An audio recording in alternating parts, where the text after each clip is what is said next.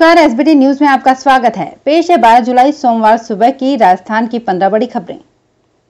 राजस्थान में अपराधों के आंकड़ों को लेकर सोशल मीडिया पर झूठ फैलाने का आरोप मुख्यमंत्री अशोक गहलोत ने लगाया है।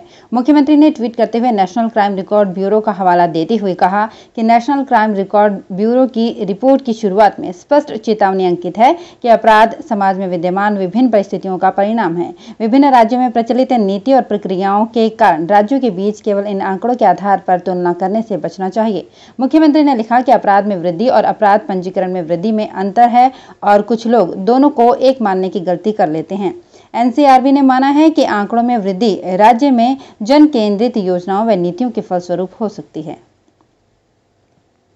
जयपुर में तेज बारिश के बीच रविवार को आमेर महल में बने वॉच टावर पर बिजली गिर गई। यहाँ घूम रहे 35 से ज़्यादा टूरिस्ट इसकी चपेट में आ गए।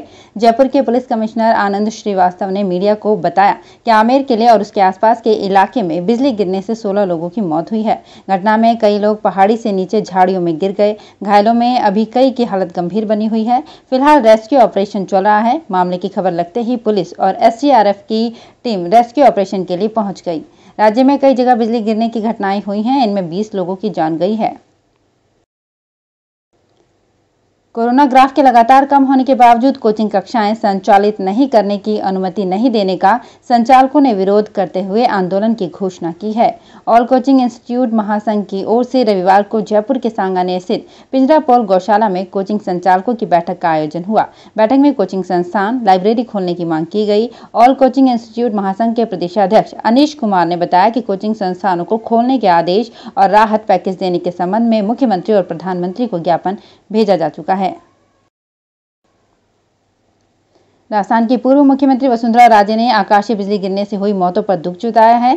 सोशल मीडिया के माध्यम से राजे ने लिखा कि कोटा ज़िले के कनवास गाँव में चार बच्चों तथा धौलपुर ज़िले के कुदिन्ना गाँव में तीन बच्चों की मृत्यु का दुखद समाचार प्राप्त हुआ। वहीं झालावाड़, बारा एवं जयपुर में भी आकाशीय बिजली गिरने से जनहानि एवं पशुधन को नुकसान पहुँचने की सूचना मिल रही है। मैं ईश्वर से सभी दिवंगतों की आत्मा को शांति, घायलों के स्वास्थ्य लाभ और परिजनों को धैर्य प्रदान करने की कामना करती हूँ।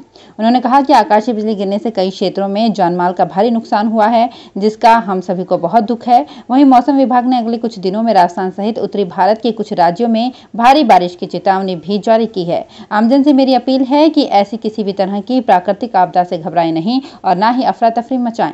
अफवाहों से बचते हुए मौसम विभाग या फिर प्रशासनिक अधिकारियों के निर्देशों का पालन करें तथा विषम परिस्थितियों में एक दूसरे की सहायता ज़रूर करें। जयपुर में झालाना लेपर्ड रिज़र्व से एक बार फिर खुशखबरी सामने आई है। झालाना लेपर्ड रिज़र्व में मादा लेपर्ड गज़ल अपने दो शावकों के साथ कैमरे में ट्रेस की गई। इसके बाद वन विभाग ने अपने सुरक्षा घेरा यहाँ बढ़ा दिया है। गौरतलब है कि सफारी में लगातार लेपर्ड शावक देखे जा रहे हैं। इस साल झालाना जंगल में नौ लेपर्ड शावक कैमरा ट्रैप में देखे गए हैं। यहाँ शावकों समेत अब लेपर्ड्स की संख्या इकतालीस हो चुकी है। झालाना रेंजर जनेश्वर चौधरी भी शावकों की मॉनिटरिंग कर रहे हैं। राजस्थान में नगर नियोजकों की भारी कमी से जूझते शहरी निकायों को अब नए, नगर नियोजक मिल सकेंगे। नगर पालिका प्रशासनिक व तकनीकी सेवा नियमों में बदलाव करते हुए सहायक नगर नियोजक, उप नगर नियोजक और वरिष्ठ नगर नियोजक के पदों के प्रावधान पहली बार लागू किए गए हैं। इसके चलते अब स्वायत्त शासन विभाग निकायों के लिए एक सौ सोलह नगर नियोजन से जुड़े पदों पर भर्ती कर सकेगा। मंत्री शांति धारीवाल की हरी झंडी मिलने के बाद स्वायत्त शासन विभाग ने इस संबंध में नोटिफिकेशन जारी कर दिया है। आंध्र प्रदेश के गुंटूर ज़िले के चिराला में जन्मी सिरिशा बांदला न्यू मैक्सिको के स्पेस सेंटर अंतरिक्ष की ओर रवाना हुई। इसी के साथ वे अंतरिक्ष का सफ़र करने वाली भारत में जन्मी दूसरी महिला बन गई हैं। इससे पहले हरियाणा में जन्म लेने वाली कल्पना चावला ने अंतरिक्ष की उड़ान भरी थी। इनके अलावा स्टर्डन लीडर राकेश शर्मा और भारतीय मूल की सुनीता विलियम्स भी अंतरिक्ष की यात्रा कर चुके हैं।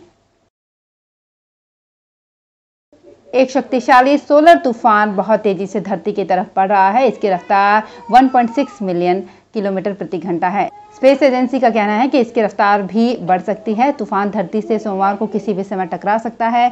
धरती के मैग्नेटिक फ़ील्ड पर इसका गहरा असर पड़ सकता इससे टीवी और मोबाइल फ़ोन के सिग्नल कमज़ोर पड़ सकते हैं। राजस्थान के कई हिस्सों में रविवार को हल्की से भारी बारिश दर्ज की गई। राजधानी जयपुर में देर शाम तक तिरसठ मिलीमीटर बारिश दर्ज की गई। मौसम विभाग के प्रवक्ता के अनुसार रविवार को भरतपुर, कोटा, उदयपुर, अजमेर और जयपुर संभाग के अधिकतर हिस्सों में मानसून सक्रिय हो गया। राजधानी जयपुर में रविवार देर शाम आसमान में काले बादल छाए और तेज हवाओं और मेघ गर्जन के साथ तेज बारिश का दौर शुरू हुआ, जो काफ़ी देर तक चला।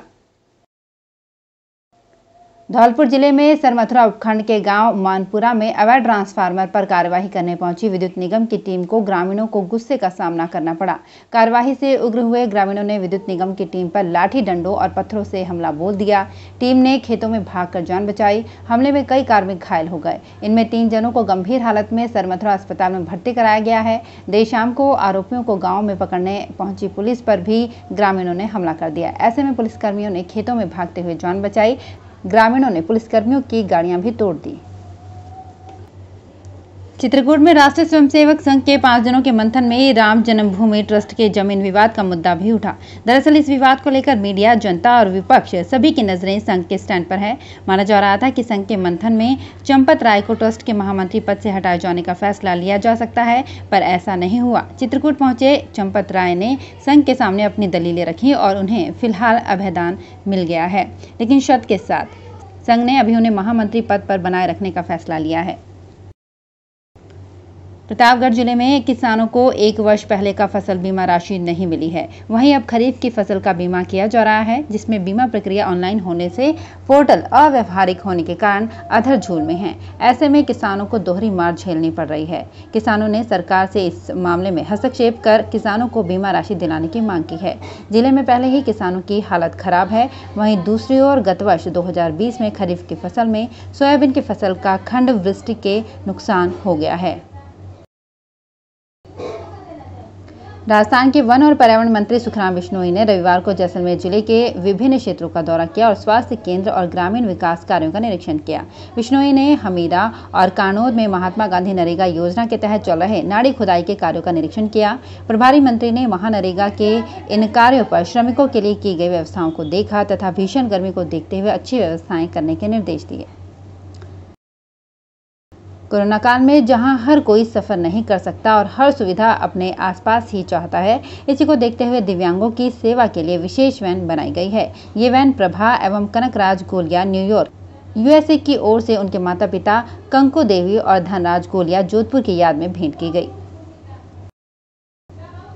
दिल्ली में रविवार को अनलॉक सेवन की गाइडलाइन जारी की गई। इसमें 50 प्रतिशत क्षमता के साथ सभी तरह के ट्रेनिंग सेंटर खोलने की छूट दी गई है। अब स्कूल कॉलेज स्किल डेवलपमेंट समेत पुलिस और आर्मी की ट्रेनिंग देने वाले सेंटर्स को अनुमति लेने की ज़रूरत नहीं होगी। इनके अलावा अकेडमिक प्रोग्राम के तहत होने वाली गैदरिंग की अनुमति भी दी गई है। इसमें स्कूल कॉलेज से जुड़ी मीटिंग शामिल है।